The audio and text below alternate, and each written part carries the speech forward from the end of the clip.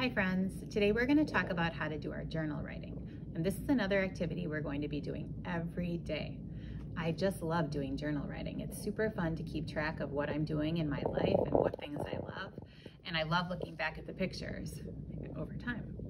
So today we're gonna start with some different materials. Your mom should have a nice school box like this for you with some different supplies inside and a notebook. So we're gonna need both of those things today. And we're also gonna need the folder that Mrs. Simpson gave you, the green folder like this. So we're going to start by looking at some of the things inside the folder and how you might use those things. And then we'll get going with the journal writing.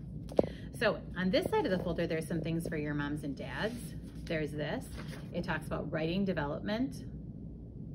And it shows how early writers are writing compared to older kids. It also talks about do's and don'ts for journal time. These are for your parents to look at. A little information, since your parents are helping teach you at home, they need to know all about this teacher stuff.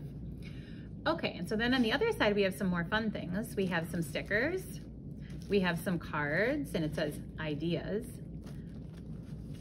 And we have a little chart like this, an alphabet chart that has all the letters like A, B, all of them. And has a little picture too. So we know that banana goes b, b, banana. Okay, so we're gonna use some of these for our journal. But the first thing we're gonna do is we're gonna take the stickers out because this is gonna be your first thing. We wanna make our journal look really special and pretty. So Mrs. Simpson has some special stickers for you. So you're gonna take out your stickers and I'm gonna actually use these stickers. And I'm gonna put them all over the cover, just on the cover, and I'm gonna try not to like overlap them. So I have a turtle sticker, my spaceship, Ooh, an airplane,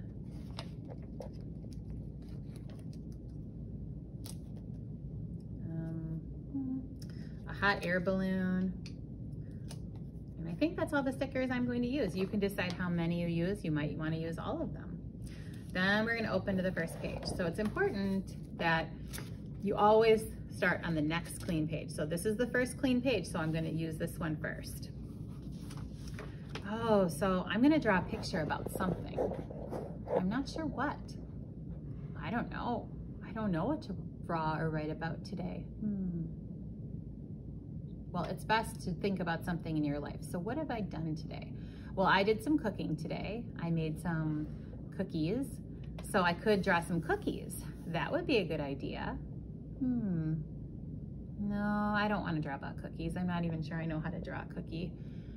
Hmm. I don't know. Well, this would be a time to use these idea cards.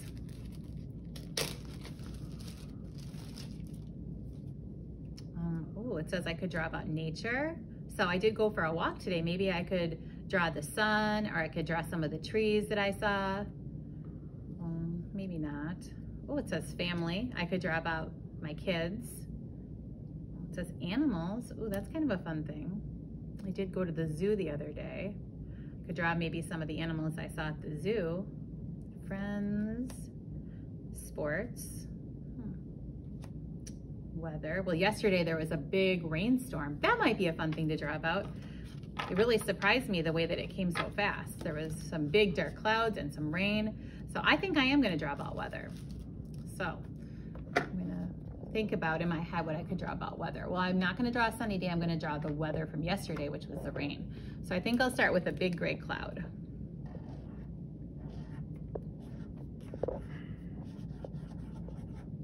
And then I'm gonna draw some rain because it rained. And it made some like puddles on the ground. So always important to have some details, some puddles. And I didn't go outside during the rain, so I'm not gonna draw myself in it, but I could. All right, so there's my drawing. I drew the rain that happened yesterday. So now I wanna have some words that go along with my picture.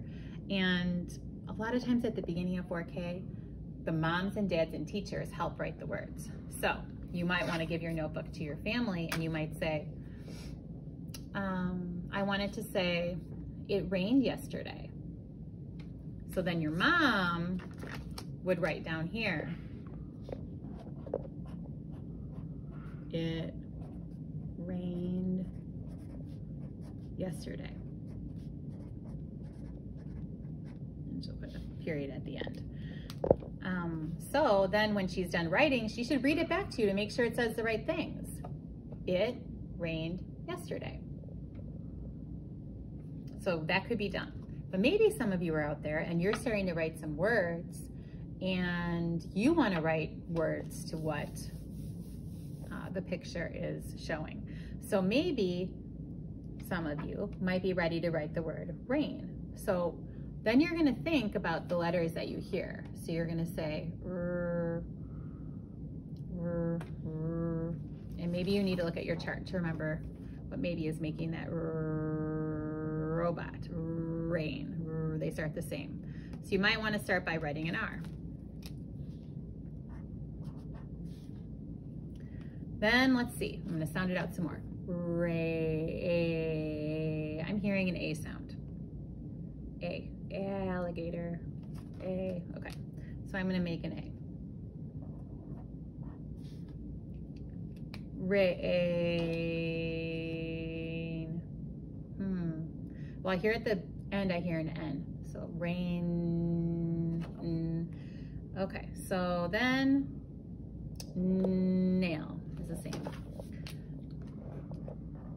And this might be how you're writing rain right now, R-A-N. And maybe your teacher or your mom might say, oh, there's a letter you don't actually hear in rain. Yeah, if it's right there, there's an I there. Or maybe you just leave it like this because this is what, this is what you hear. R-A-N. So that's journal writing.